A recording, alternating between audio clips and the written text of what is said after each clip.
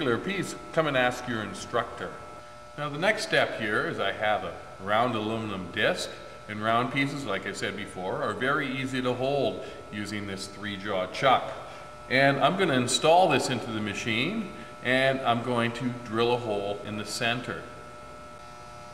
Now the first thing I need to do is open up the jaws of this chuck so that it is the right, the jaws are the right diameter away. And if you'll notice, there's tiny little grooves within these jaws. I'm going to place this little disc in there into those grooves because it'll grab easier. And I've tightened it up and I'm going to do a little test now.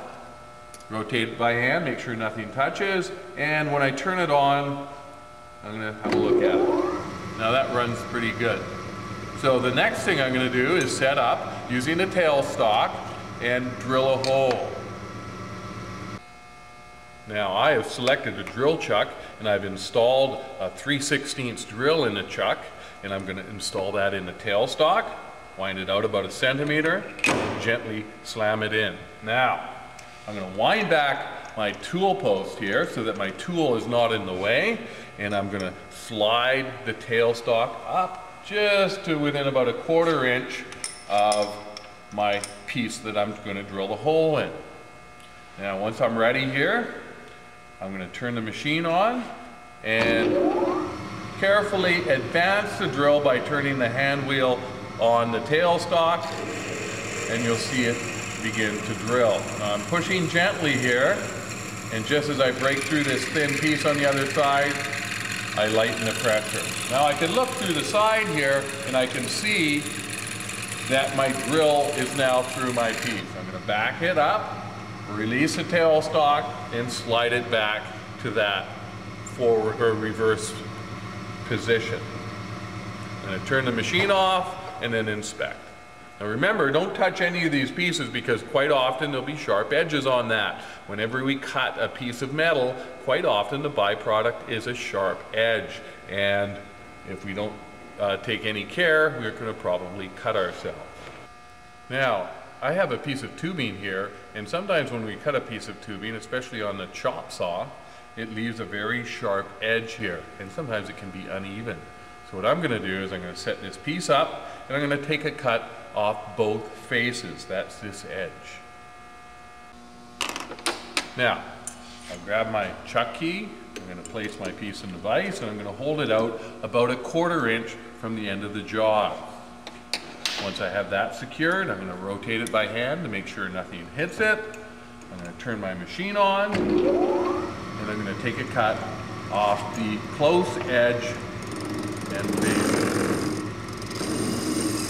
Go in and out, take tiny little cuts.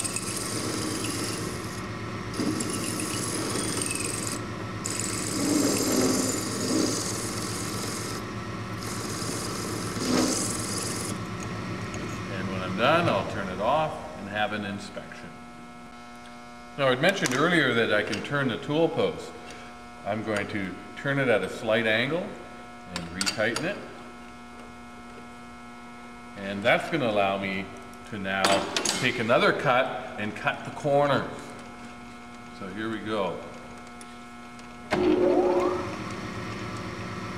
cut the inside corner and the outside corner. Now I did this operation uh, so that I can remove any sharp edges.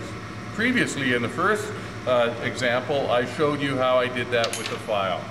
Sometimes, especially when you have a hollow piece, this is the only way to do it. So I pull that out, and you'll notice that this piece comes free here, and I have no sharp edges. Now this is uh, will sit perfectly flat and will be that will be convenient if we're going to weld uh, this in a vertical position or weld it to something else. in this situation here, I'm going to flip it around and I'm going to do it the other side. I'm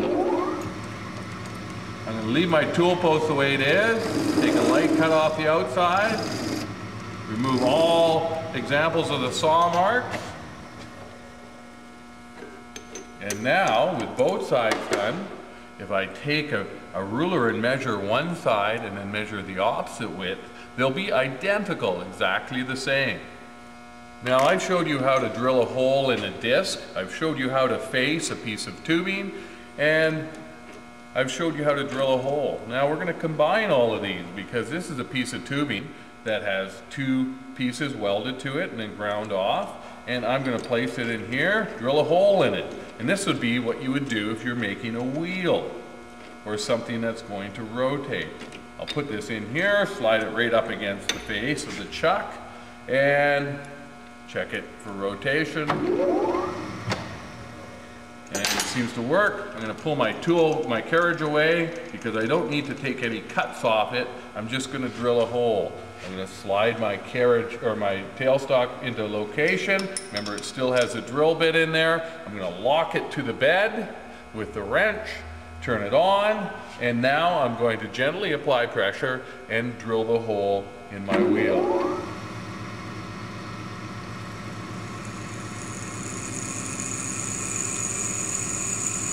Try that again. Now it's gone through the first side. I'm going to advance the drill till it comes to the next side. There we go. Starting to drill through the other half of the wheel. And I'm just gently going to push. I can feel it getting easier to go. That means I'm through the other side. I'm going to wind it back, turn my machine off, slide my tailstock back, and it looks like the hole is good on this side. I'm going to take it out of the chuck and look on the other side, and there we go. We have a perfect hole, and the advantage of this is it's now concentric, meaning the hole is in the center in relationship to the outside of my wheel. So when this rotates, it won't wobble. There's many other applications that we can do with the lathe, but these are a few most common ones in our shop. If you want to use the metal lathe, you should ask permission first. Now I've finished doing my job here and I'm probably going to clean up my tools so that the next person is, uh, has a clean machine to work from. Um, all the tools go back. Some of these tools get stored just in front on the bench here. And what we want to make sure is that nothing gets lost in the process. So here's another machine that you can add to your knowledge base. And if you look around our shop, we've got about a dozen machines, some of them ranging uh, from this benchtop size to um, very large industrial size machines. And we choose a machine depending on the type of job we're doing. So now that uh, you've seen this, you're ready to use the metal lathe.